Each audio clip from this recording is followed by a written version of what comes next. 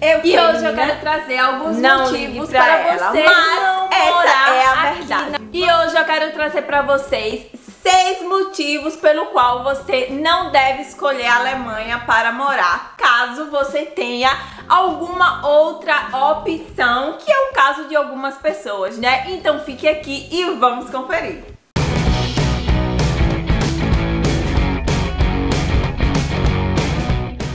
Olá, gente, sou a Adriana do canal Vivendo na Europa. E hoje eu quero trazer para vocês seis motivos pelo, pelos quais você não deve escolher a Alemanha como o primeiro local, o primeiro país para você morar. Muitas pessoas têm algumas opções de países para morar, principalmente as pessoas da área de TI, né? Aqui na Europa é bem abrangente essa área, então às vezes você tem muitas opções para escolher o país que quer morar. E a Alemanha é uma deles, é um desses lugares. Mas eu quero trazer para vocês aqui alguns pontos que são importantes para algumas pessoas que nunca moraram fora da Alemanha, que nunca moraram fora do Brasil e vai ser a sua primeira jornada. Então vamos conferir eles que pode ser bem importante para você. O primeiro deles, e é bem importante, é a questão do inverno, né? O inverno aqui é muito longo, minha gente, se estende o ano inteiro. Praticamente temos o verão, né, que, que é mais quente, não, que é bem mais quente, né? E tipo, fica o que? 35, 36 até 37 graus. Chega, mas não é bem constante. Mas é um período muito curto, então você tem o resto do ano, acho que você passa mais o que? De. Você passa dois meses praticamente no calor, assim que dá calor. E os outros meses você passa no frio, porque a primavera ela é fria, ela é um pouquinho quentinha assim, mas não tanto, você precisa casar com essas coisas.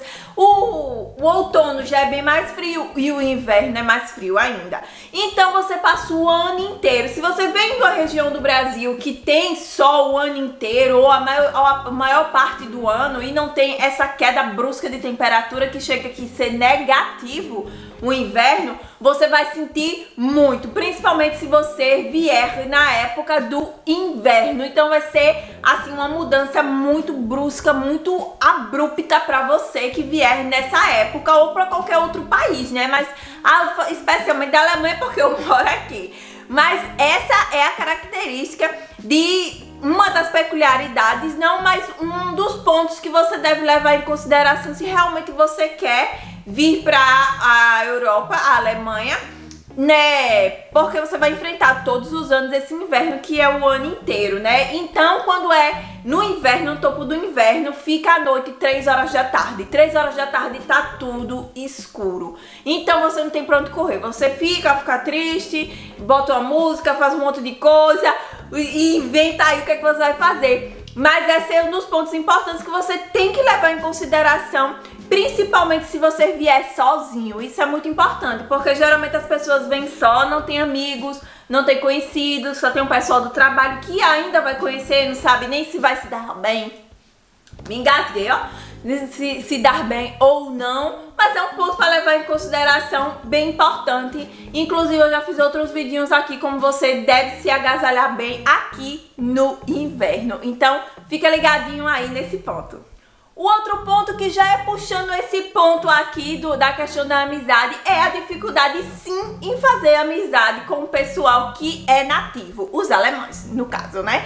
Eles são pessoas muito fechadas, não dá muita abertura pra você, então é um oi, oi, olhe lá, né? E a daquele mau humor. Já falei aqui em outros vídeos dessas coisas. Então é muito difícil você fazer amizade com alemães, né?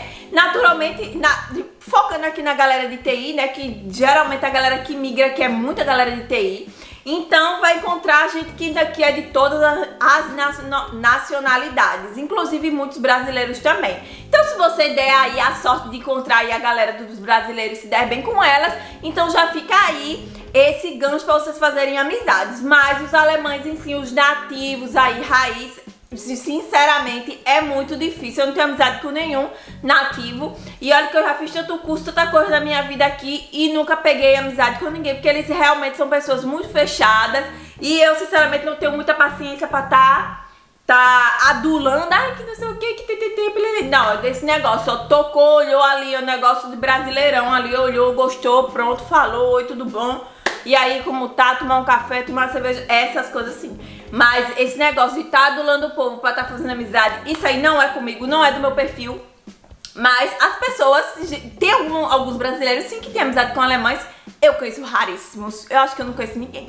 Mas enfim, fica aí a dica se você é, for de, dessa questão, né? Porque tem países que você vai e é mais é, aconchegante, é mais assim convidativo para você fazer amizade, né? Aqui não é. Então você já bota esse ponto como um ponto do topo se for uma coisa importante para você.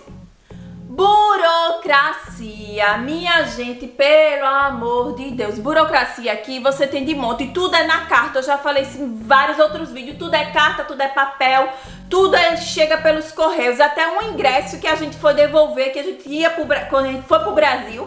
Aí a gente ficou de devolver o ingresso pelo fato que a gente não ia por causa do tempo que não ia dar. E a gente devolveu. Então o que, é que eles fizeram? Putz, era anular o número do, do, sei lá, velho, fazer alguma coisa, anular o número do do ingresso, mandar alguma coisa, não sei. Menos a gente enviar o ingresso de volta. Então a gente teve que fazer isso, pagar o reenvio do ingresso para poder o ingresso ser cancelado e eu ter o meu dinheiro de volta. Isso que aconteceu aqui. Então, ó, geralmente não, você vai encontrar muitas burocracias. Muitas pessoas falam, ah, mas você não, não sabe do Brasil, não sei o quê. Sim, minha gente, a gente tá no Brasil, a gente tá na, no nosso país, a gente tá falando com a nossa língua. E, e, e pra falar a verdade, eu sei que o Brasil é muito, tem muito protocolo, é muita coisa pra fazer, é muito bli bli bli. Mas se, se eu, eu comparando uma coisa com a outra, gente, não tem como comparar. O Brasil você acha burocrático? Sim. Aqui você pensa 10 vezes mais. Muita gente diz... Isaac, não sei o que, eu não acho onde é que vocês verem essa burocracia. Minha filha, então você anda com alemão a colo pra resolver as coisas pra você. Porque aqui, você, se você resolver alemão, primeiro você não consegue resolver nada nesses setores públicos. Porque as pessoas lá ou não falam inglês ou não querem falar. Então aí já vem a dificuldade. E outra coisa é importante você falar pelo menos um pouco o idioma, né? Que ainda vou chegar lá. E é, dificulta muito a vida, então tudo é papel. Chega, é papel, carta é papel. E você tem que responder muitas vezes de volta esse papel. Chegou um censo um dia desse e a gente teve que devolver o papel respondido. Já pensou? Que coisa? Tudo é no papel, gente, sério. E é muita burocracia, é, é muita coisa pra ler. Imagine pegar uma ficha lá em, em português mesmo, mas sendo um texto que é de advogado, com, aquela, com aquelas escritas, com aquelas leituras lá todas complicadas. Eu mesmo não entendo nada. Porque eu não sou da área, eu não entendo nada, aquele vocabulário. É a mesma coisa que tá pegando um documento aqui em alemão. Tem um monte de coisa, você vai traduzir, não fica a mesma coisa.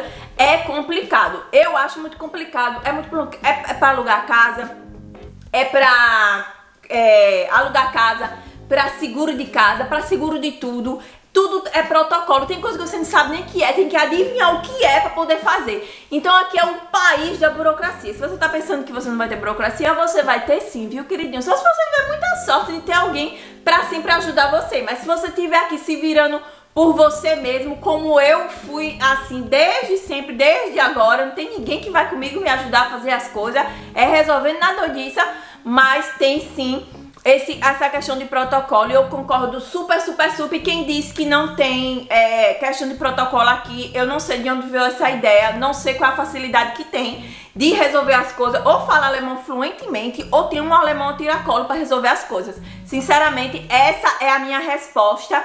É, e um ponto super importante, se você não quer lidar com burocracia, se você pensa que o Brasil tem burocracia, aqui é 10 vezes mais. Então, esse é um ponto bem importante para você lembrar na hora de escolher a Alemanha como lugar para morar.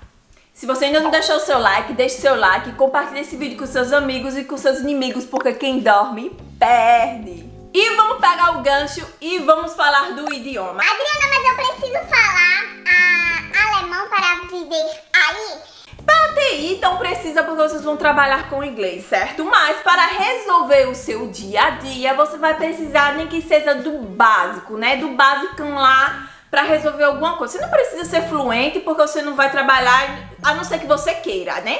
Mas você não precisa ser fluente para você é, resolver as suas coisinhas ou para falar assim, mas você tem que saber um nível médio para você conseguir chegar pelo menos nesses setores é, burocráticos, como eu acabei de falar nesses setores de burocracia, nesses governamentais, gente, é muito complicado. Eu já falei em outros vídeos, quando eu comecei a estudar alemão aqui na escola, é, na VHS, é, que é a escola subsidiada pelo governo, fica aí a dica também, porque é a mais barata de línguas que tem aqui. Então, se você é, for fazer algum tipo de escola, escolha ela porque ela é mais baratinha e ela, ela é boazinha também. Eu não tenho que reclamar dela, não. Todas as escolas têm professor ruim, não é verdade? Então, voltando aqui pro assunto do idioma, quando eu comecei a estudar, Sério, eu não, eu, eu não sabia de nada. Assim, zero, zero, zero. Eu não sabia que era um, que era dois, que era o que era B, que era C. Porque eu não tive tempo de me preparar no Brasil pra vir pra cá, né? Eu, eu tava terminando um período da faculdade e vim direto pra cá no mesmo mês. Eu não tive tempo pra parar, pra, pra, pra estudar lá no Brasil, me preparar um pouquinho pra ter uma base. Eu não tive esse suporte antes no Brasil pra poder vir pra cá. Então eu vim direto. Então eu cheguei da escola, pra pagar na escola, primeiro, o cartão não aceitava o meu tipo de cartão tinha que ser no dinheiro, então eu tinha que sacar o dinheiro antes, que eu já expliquei em outros vídeos essas questões pra vocês, e, e pagar lá. Só quando chegava lá na... Era engraçado, quando chegava lá na salinha, aí tinha uma senhorinha, certo? Aí a senhorinha não falava inglês, só tinha uma mulher que falava inglês, só que essa mulher lá só tava duas vezes na semana, e pra descobrir quais eram as duas vezes na semana que a mulher tava, e só era um horário só, era a maior confusão. Aí, tipo, formava aquela fila enorme de galera pra poder pagar a mensalidade, do, porque você pagava pelo módulo, né? Então você pagava a cada dois meses ou era a cada três, não lembro de certeza, faz um tempinho. Então, é, era complicado, minha gente, pelo amor de Deus. Aí é pra falar com a mulher, ao de se pagar curso, dinheiro, igual assim, falando assim, palavras soltas, porque a mulher não falava inglês, é, só falava alemão. Eu não falava alemão, eu tava no A1, minha gente, eu não sabia nada. Como é que eu ia falar pra dizer que ia pagar o módulo do curso tal e tal e tal? Como é que eu ia dizer isso, pelo amor de Deus? Aí essa é a questão do protocolo. Ah, Adriana, mas você tava começando a estudar certo. Ali naquele ambiente a mulher deveria falar um pouco de inglês, pelo menos pra poder resolver o meu problema, belezinha? Só que em outros órgãos, aí certo, aí passou o tempo, aí você vai aprender um pouquinho. Chega em outros órgãos, as pessoas, é, às vezes é meio complicado entender as coisas. É, a questão quando você muda de endereço, quando você muda de apartamento, você tem que mudar de endereço, você tem que ir no órgão mudar de endereço, ou manda uma carta, ou manda um e-mail, que às vezes nem ninguém responde. Então você tem que se virar com essas coisas assim. Então você saber pelo menos o básico é muito bom você saber sim, né? Se você é puder, puder antes se preparar e escolher a Alemanha como seu lugar para você vir aqui passar um tempo ou pegar uma experiência, se prepare um pouquinho no Brasil porque vai facilitar muito a sua vida quando você chegar aqui, certeza. Então pega essa dica aí do idioma porque sim, é necessário você saber um pouquinho para diminuir só os perrengues que você vai ter aqui. E o ponto importante é, se você for uma pessoa com apego muito grande familiar, você vai sentir muito esse distanciamento pelo fato de que é muito longe, você não vai se ver com frequência, não vai ter aquelas idas e vindas com frequência, você vai ter que ficar aqui algum tempo. Se você vier sozinho, você vai sentir muito. Então, se você for uma pessoa com apego familiar muito grande, vai ser complicado, não só aqui, mas em qualquer outro lugar. Mas se for um outro lugar que seja mais fácil você manter amizade, que o tempo não seja tão ruim assim na questão de ser frio o ano inteiro. Aí dá aquela ajudada, né? Daquela acalorada na situação e diminui um pouquinho a saudade até você voltar ou alguém vir visitar você. Mas esse é um ponto super importante que é para todo mundo na realidade, né? Mas aqui tem esse ponto da questão de ser o frio o ano inteiro, praticamente o ano inteiro, gente. A gente fica no frio aqui, sinceramente. Então fica dois mesinhos ali. Quando alguém quer praia, alguma coisa, tem que ir para outro país para poder pegar uma praia, porque aqui realmente as praias daqui, eu já fiz vidinho, não são boas. já fiz vidinho tão gelada que dói até no juízo mas é um dos pontos que você deve levar em consideração ao migrar do Brasil para a Alemanha e, ter, e tiver essa opção de escolher. Caso você não tenha, você enfrenta, meu amigo, porque foi aqui. Era o que eu tinha, então eu vim, tô aqui, vivíssima cheia de experiência aqui contando pra, pra vocês. E espero que vocês também contem também a experiência de vocês passando por isso aqui, ou se já passou, se vai passar ou se tem alguma dúvida disso assim, mas são pontos, sinceramente, importantes que deve levar em consideração, não só pelo fato de você mudar, mas pelo seu estado também mental também, as suas condições de vida, a condição de vida que você vai ter uma condição de vida muito boa, mas não é só isso que conta, não é verdade? É todo um conjunto. Então, gente, fique com essas diguinhas, mandem esse vídeo pros seus amigos e pros seus inimigos e até a próxima. Tchau!